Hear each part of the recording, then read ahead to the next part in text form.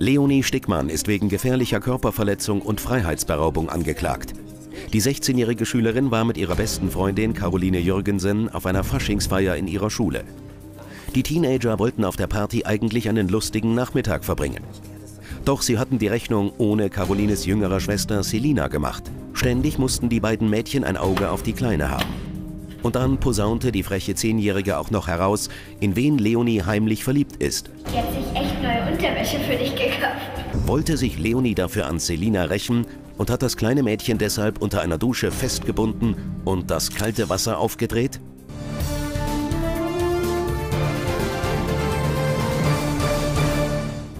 Leonie Stickmann, geboren am 16. Januar 1996 in München. Sie wohnt in München, sind ledig und Schülerin. Am 20. Februar 2012 schlich die Angeklagte der zehnjährigen Selina Jürgensen hinterher, als diese gegen 16 Uhr in den Keller der Therese-Ballard-Schule in München ging, um dort die Toilette aufzusuchen. In diesem Moment packte sie das arglose Mädchen von hinten, zerrte es in eine Duschkabine, in der sie Selina mit dem Gürtel ihres Kleides an die Duschstange fesselte, das Wasser aufdrehte und floh. Selina wurde 30 Minuten später aufgefunden und befreit. Wie es die Angeklagte von vornherein in Kauf genommen hatte, erlitt das Kind schmerzhafte Fesselmerkmale an den Handgelenken und eine Lungenentzündung. Die Angeklagte wird somit der gefährlichen Körperverletzung in Tateinheit mit Freiheitsberaubung beschuldigt. Strafbar gemäß dem Paragraphen 223 Absatz 1. Nun gut, Leonie, möchten Sie sich zur Anklage äußern? Ja, das kann ich sehr gerne machen. Aber ich kann Ihnen gleich sagen, dass ich nichts gemacht habe. Nicht ein Haar habe ich ihr gekrümmt. Und das hätte sie sowieso verdient. Jetzt Moment mal, abgesehen davon, das hat wohl niemand verdient. Ein kleines Mädchen schon gar nicht. Aber warum also, denken Sie, dass es verdient hätte? Also dieses Mädchen, Selina, ist kein nettes, braves Mädchen. Sie ist wirklich eine gemeine Schlange. Gut, ich denke, wir können das Ganze auch ohne Beleidigungen hier machen, ja? oder? Ja. Wieso sind Sie denn auf Selina so schlecht zu sprechen? Das Mädchen ist einfach total anstrengend. Die kann man überhaupt nicht im Griff haben. Wäre die nicht die kleine Schwester von meiner besten Freundin, würde ich überhaupt nichts mit der machen. Ist einfach ein Baby und führt sich total auf die ganze Zeit. So, das Ganze war ja eine Faschingsfeier an der Schule. Hm? Die ist da veranstaltet worden von der Schule. Was ist da passiert? Es war richtig peinlich, wie sie sich aufgeführt hat. Sie hat die Luftschlangen von der Decke gerissen, dann die ganzen Luftballons kaputt gemacht, die ganzen Kostüme von den anderen Mädels kaputt gemacht. Die hat sich richtig aufgeführt. Und nee, das ging einfach gar nicht klar. Es war einfach nur noch peinlich. Naja. Das war wohl nicht alles, oder? Würde ich sagen. Nein. Nicht, ne? Wollen Sie nicht erzählen, was die kleine, freche Selina ihrem großen, ihrem großen heimlichen Schwarm erzählt hat? Nein, will ich nicht. Ach, wollen Sie nicht, ja? Ich kann mir durchaus vorstellen, dass das richtig peinlich für Sie ist, ja? Was die Selina so ihrem heimlichen Schwarm erzählt hat, ja? Genau das ist ihr Motiv und nichts anderes, ja? Selina, ich werde es jetzt übernehmen, wenn Sie nicht wollen, ja? Die Selina, die hat nämlich auf der Feier ihrem Schwarm vor seinen gesamten äh, Kumpels, die dort herumstanden, erzählt, dass sie in ihn total verknallt sind, sich auch noch rosa Unterwäsche für ihn gekauft haben und sich auch noch ein Herzchen auf den Unterschenkel rasiert haben. War doch nicht gerade nett von ihr, oder? Nee, natürlich war das nicht nett, also. aber trotzdem war ich das nicht. Und ich habe sie auch nicht in diesen Keller gesperrt und auch nicht in die Dusche gesperrt. Wenn Sie was, Sie waren einfach wütend und blamiert. Ja? Und da wollten Sie sich die Selina einfach vorknöpfen. Kann man ja nachvollziehen. Ich war das nicht. Jetzt gibt es aber eine Zeugin, und zwar diese Cheerleader-Trainerin Wiebke Fiss. Die hat ausgesagt bei der Polizei, dass sie gegen 16 Uhr, also kurz nachdem Selina da ihrem Schwarm von diesen ganzen Geschichten, von ihren Gefühlen vor allem erzählt hatte, dass sie sie gesehen hat. Hm? Und zwar, wenn sie in den Keller gegangen sind. Ich bin nicht in diesen Keller gegangen. Ich wollte erst, ja. Aber genau in dem Moment, als Lina die Treppe runtergegangen ist, hat Caro, also meine beste Freundin, mich gerufen. Und das fand ich dann natürlich wichtiger, als die ganze Zeit dieser kleinen Zicke hinterher zu rennen. Also Entschuldigung. Wo sind Sie dann hingegangen? Nach draußen. Nach draußen? Was gab es draußen zu tun? Ja, da haben wir geredet. Geredet? Über was denn? Ja, über alles Mögliche. Über das mit Vincent und so. Ja, also das klingt ja nicht gerade glaubwürdig. Es ja, im Gegensatz zur Aussage der Zeugin Wiebke Fiss. Also jetzt glauben Sie da auch noch, oder was? Ich könnte mir sogar vorstellen, dass diese Frau Fist eigentlich die Tat gemacht hat und mir das Ganze jetzt voll hinterhältig in die Schuhe schieben will. Wieso? Was hat die Frau Fist denn für einen Grund, dass Selina was anzutun? Naja, da gibt es eigentlich mehrere Gründe, Herr Richter. Zum einen, weil Selina immer und überall im Weg ist. Sie ist total anstrengend, macht immer alles kaputt. Und dann ist es natürlich so, dass Frau Fist die ganze Verantwortung hat und will, dass alles glatt läuft. Da war es natürlich praktisch, dass Selina aus dem Weg ist. Und zum anderen, weil Selina immer im Weg ist, wenn Frau Fist mit Herrn Jürgensen, also Karos Vater, flirtet. Und zwar richtig krass. Was, die Frau Fist, die hat den Vater von Selina angepackert, oder wie? Oh ja. Und zwar, das war wirklich übertrieben, das war einfach nur noch peinlich.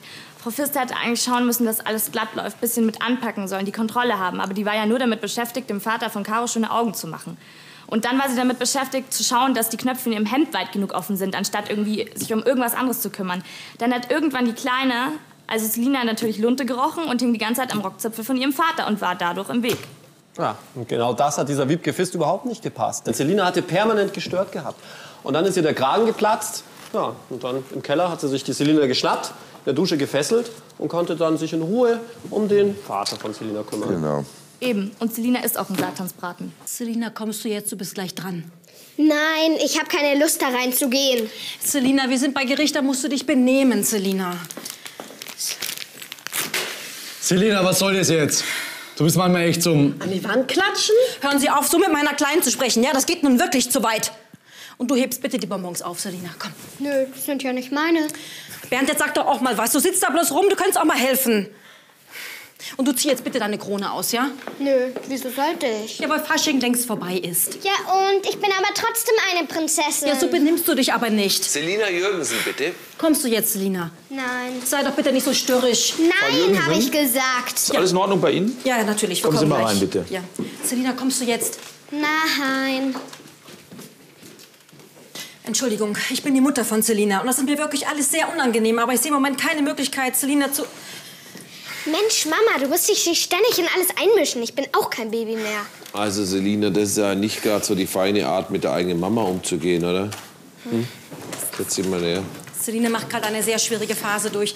Deshalb würde ich auch darum bitten, wenn das möglich ist, dass ich neben sie sitzen kann. Naja, klar, ist sicherlich möglich.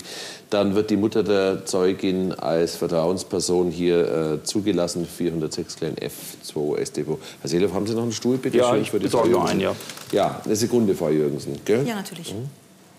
Also, schwierige Phase machst du durch, kann ich mir vorstellen. Auch das hier heute ist sicherlich nicht so ganz einfach, aber ich denke mal, du schaffst es doch schon, dass du dich heute ordentlich benimmst, oder?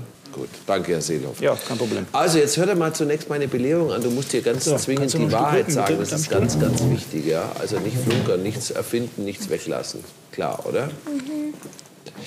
Du heißt Selina Jürgensen, zehn Jahre alt, du wohnst in München, du bist natürlich nicht verheiratet und gehst in die Schule, ja. Nö, ich bin Prinzessin. Sieht man doch. Na, Nur weil du eine Krone aufhast, bist du noch lange keine Prinzessin. Abgesehen davon, Fasching ist vorbei, jetzt nimmst du die Krone einfach mal ab, würde ich sagen, oder? Das finde ich aber ganz schön blöd. Jetzt pass mal auf, Selina. Ich habe dir nichts getan. Ja? Ich will hier die Wahrheit herausfinden über das, was dir passiert ist. Dafür nehmen wir uns ganz viel Zeit hier. Da erwarte ich dann aber auch, dass du dich ein bisschen kooperativ zeigst und hier nicht rumzickst. Ja? Ganz einfach. Verstanden? Ja. Es geht ja darum, wer hat dich festgebunden, wer hat das Wasser aufgedreht. Das war eine ganz, ganz miese Geschichte. Ja? Und ich denke, du hast am meisten Interesse, dass wir das hier aufklären, oder? Okay. Also, mir einfach ganz ehrlich, ganz normal, im vernünftigen, nicht patzigen Tonfall antworten. Okay, ich gehe zur Schule. Verwandt verschwägert bist du nicht. nee, ist die Freundin von meiner Schwester, warum auch immer. Ist nämlich so gemein und doof. Ich wüsste echt gerne mal, wie man so einer befreundet sein kann. Ey, Selina, ich glaube, du spinnst ganz ehrlich. Ich glaube, das passt ganz gut, dass du mal eine Dusche verpasst bekommen hast. Die können dir echt mal Manieren beibringen. Zehn Jahre und so ein Mädchen. Ich meine, Entschuldigung, was ist los? Also jetzt mal, jetzt beruhigt euch beide mal. Ich würde jetzt das Ganze gerne aufklären. Fangen wir doch mal bei dieser Faschingsparty da an. Da sollst ja du dich auch ein bisschen daneben benommen haben. Da sollst du einige Leute erst mal auf die Palme gebracht haben. Hm? Erzähl das doch mal. Ich habe gar nichts gemacht. Gar nichts, Selina. Du hast doch echt den ganzen Tag nur Blödsinn im Kopf. Wirklich. Du stellst nur Dinge an und es macht dir sogar Spaß. Stimmt doch gar nicht. Nicht, oder? Wer ist denn die ganze Zeit den Leuten auf die Füße getreten, hat sich nicht entschuldigt? Wer hat denn mit Konfetti das Waschbecken verstopft oder die ganze Zeit das Naschzeug verschwinden lassen? Ich nicht. Nee, Selina, es waren bestimmt der Nikolaus und der Osterhase zusammen. Das ist echt nur noch Also peinlich. Leonie, bitte. Wer ist denn hier bitte peinlich, sich Herzchen in die Beine rasieren? Ich find's echt traurig, dass ihr beide rumzickt. Ist doch nicht ihr Problem. Und vorzuschreiben haben sie mir außerdem auch nichts. Oh doch, oh doch. Und jetzt sage ich dir mal was. Junge Dame, ich finde dein Verhalten hier überhaupt nicht in Ordnung. Sowas macht kein kluges zehnjähriges Mädchen. Ich bin aber klug. Ja, dann verhalte dich bitte auch so, hä? wenn du wirklich klug sein solltest. So, und jetzt kommen wir mal zu diesem Tattag zurück.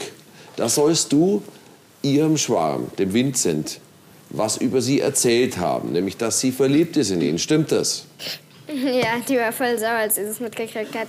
Der ist voll die Kinnlade runtergekriegt. Das findest du jetzt auch noch witzig oder was? Ja, ich finde es auch nicht zum Geht Grinsen, ehrlich nicht. gesagt. Hat sie was gesagt drauf? Ja, sie hat mich angefaucht. Man sollte mir mal Manieren beibringen.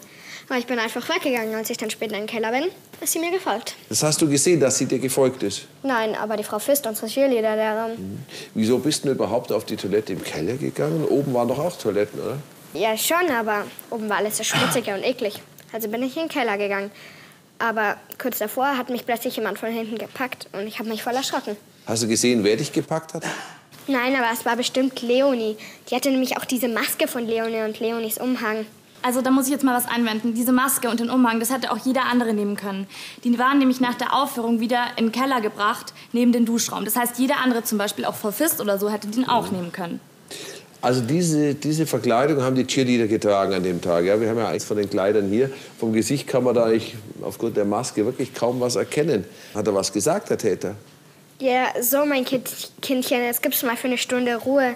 So eine Abkühlung wird dir gut tun. Ja, das hat sie gesagt. Und das war Leonies Stimme. Ey, du spinnst doch. Ich war das nicht. Konntest du die Stimme wirklich sicher erkennen? Bei der Polizei hast du ja noch ausgesagt, dass der Täter so eine Art Mickey-Maus-Stimme hat.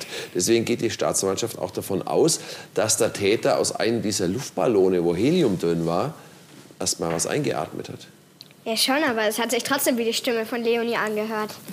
Das glaube ich nicht. Herr Vorsitzender, darf ich vielleicht ganz kurz mal etwas demonstrieren? Was denn?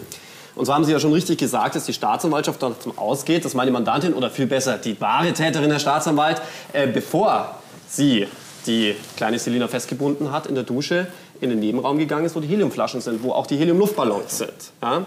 Und ich bin der festen Überzeugung, dass die Selina meine Mandantin gar nicht hätte erkennen können, wenn sie Helium eingeatmet hätte, weil sie dann eine ganz andere Stimme gehabt hätte. Und das will ich mal bitte demonstrieren. Ich habe mal hier so einen Luftballon mit Helium mitgebracht. Herr Staatsanwalt. Ja, ich wir kennen mal das Experiment, Herr Verteidiger. Schluck hier. Oh, Herr Staatsanwalt, mit dieser Stimme würden Sie sich doch glatt in mich verlieben. Mach auch mal einen Schluck. Also unglaublich. Ich war das nicht. Wie willst du bitte so meine Stimme erkennen? Ich hab sie aber erkannt. Also, lassen wir das noch mal so stehen.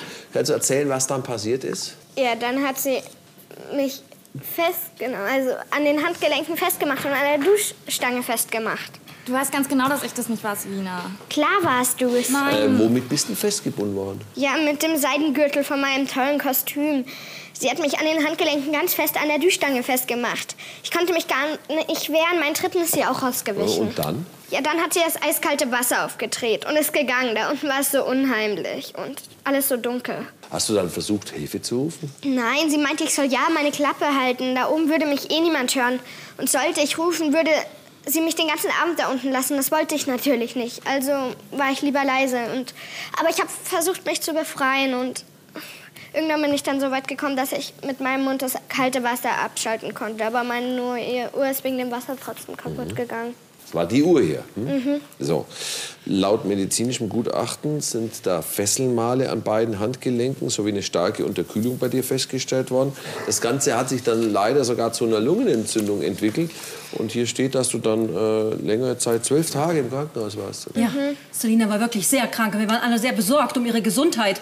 Das hat Selina nun wirklich nicht verdient. Ich weiß gar nicht, wie Leonie dazu kommt, ihr so etwas anzutun. Das ist ja wirklich alles andere als ein Teenager-Streich, nicht wahr? Mann, ich habe Selina wirklich kein Haar gekrümmt. Ich war das nicht. Das hätte auch jeder andere sein können, der mit Selina irgendwie, ja, als Feind sozusagen war. Beispiel zum Beispiel Frau Wiebke Fist, die die ganze Zeit mit ihrem Vater geflirtet hat und da war Selina natürlich im Weg. Was? Das ist doch vollkommener Quatsch, Leonie, was du da redest. Genau, du warst das. Die Fist hat mich auch befreit. Und sie hat sich gar nicht an Papa rangemacht. Nee, gar nicht. Und warum hast du ihn dann die ganze Zeit nicht aus den Augen gelassen, Mann, Selina? Echt?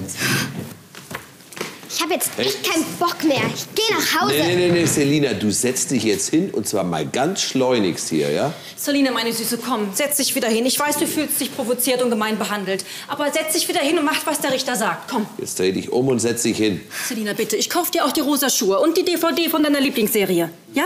Na gut, aber kommst du gleich nachher. Naja, ob das die richtige Art ist, bei ihrer Tochter was zu erreichen? Ich weiß, dass das nicht die optimale Erziehungsmethode Ja. ist.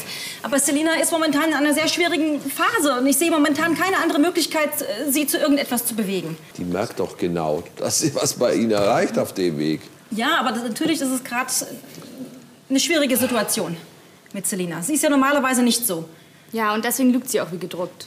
Das stimmt ja gar nicht. Selina würde nie jemanden falsch beschuldigen. Wir haben doch überhaupt keine Ahnung, wie Selina eigentlich drauf ist. Beleidigungen liegen doch bei der an der Tagesordnung. Die flippt die ganze Zeit aus und Beschuldigungen genauso. Ach was.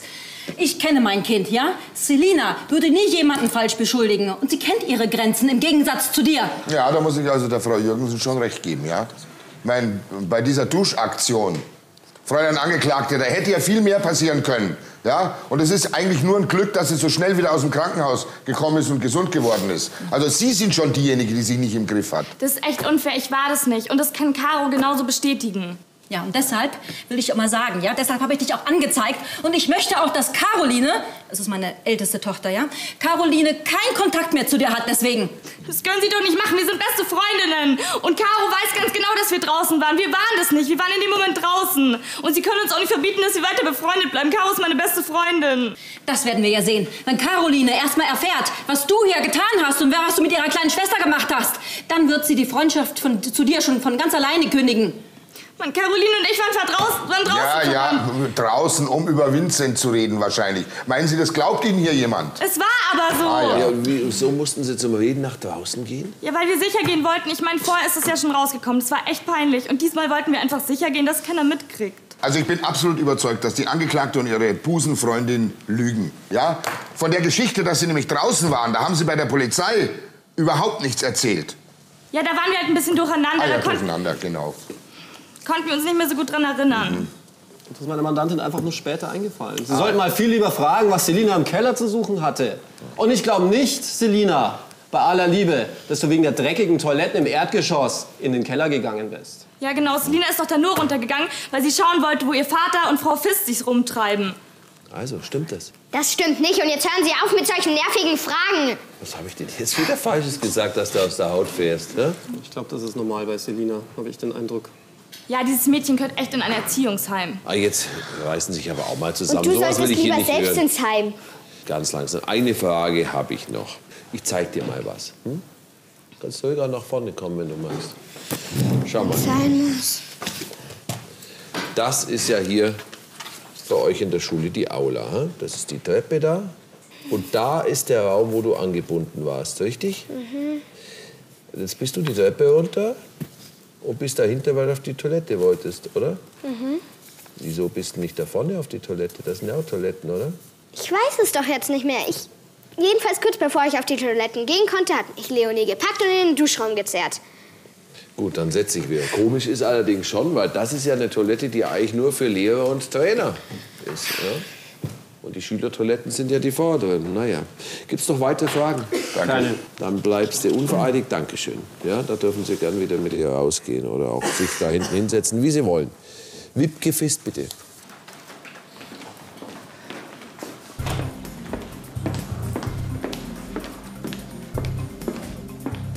Frau Fist, nehmen Sie mal bitte Ihren Platz. Danke, Herr Seeler. Ja. Sie sollen ja als Zeugin aussagen. Als Zeugin müssen Sie die Wahrheit sagen. Wer was Falsches sagt, macht sich strafbar. 55 StPO. Sie müssen auf einzelne Fragen nicht antworten, wenn Sie sich selbst belasten könnten. Sie heißen Wiebke Fist, 24 Jahre alt. Sie wohnen in München. Sie sind ledig von Beruf. Ich bin Trainerin. Ich trainiere die Kinder beim Kinderturnen und betreue die Cheerleader. Verwandt oder verschwägert mit der Leonie sind Sie nicht. Nee, das nicht. Äh, Sie ist auch nur bei den Cheerleadern. Es ist wirklich verdammt schlimm, was sie da mit der armen Selina abgezogen hat. Ja, Sie wissen ja, was der Angeklagten vorgeworfen wird. Sie soll ja die Selina da unter einer Dusche mit kaltem Wasser festgebunden haben. Äh, mich würde interessieren, auf dem ganzen Faschingsfest, was haben Sie von allen mitbekommen? Ja, nicht viel. Also hätte ich gesehen, dass es Leonie war, die Selina da in den Keller gefolgt ist, ja, da wäre ich auf jeden Fall hinterhergegangen. Ja, vielleicht hätte ich da eine schlimme Lungenentzündung wenigstens verhindern können. Das heißt, Sie haben die Angeklagte also gesehen?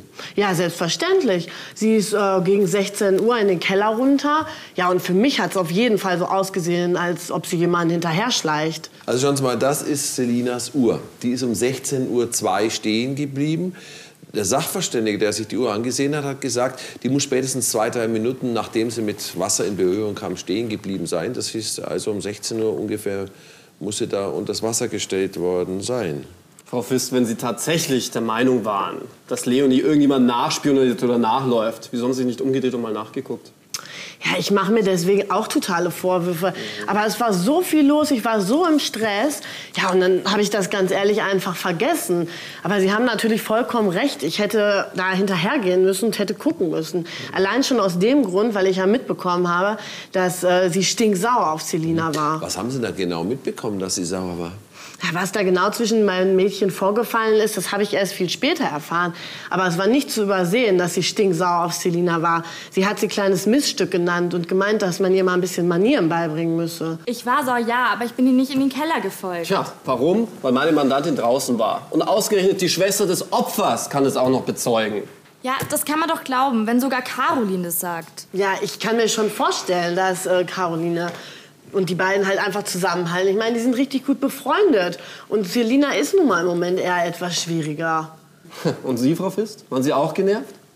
Was heißt genervt? Ach, Also ich weiß zumindest, dass Sie die Verantwortung an diesem Tag für diese Party hatten. Denn diese Party wurde arrangiert von Ihrer Cheerleader-Gruppe, die Sie leiten. Und ich weiß auch, dass Selina Sie da tierisch gestört haben muss. Also es hielt sich in Grenzen. Ganz genau, in Grenzen nennen Sie das. Also ich sehe das mal ganz anders. Ich weiß zum Beispiel, dass Selina an der Musikanlage rumgespielt hatte. Und Sie brauchten fast eine Stunde, um die ganzen Regler von der Musikanlage wieder in die richtige Position zu rücken. Sie mussten mit einer Stunde Verspätung anfangen. Und dann habe ich auch noch erfahren, dass die CDs, wo Ihre Musik drauf war, die waren auch verschwunden. Und die Kostüme waren auch verschwunden. Ja, also das heißt ja noch lange nicht, dass das alles Selina war. Mhm. Und dann frage ich mich aber eins, Frau Fist. Sie haben öffentlich, bevor die Veranstaltung begonnen hat, haben Sie öffentlich den Eltern gesagt, dass sie mit einer Stunde Verspätung anfangen müssen, weil sie ein Kind gestört hat. Und während Sie das gesagt haben, haben Sie direkt Selina angeguckt.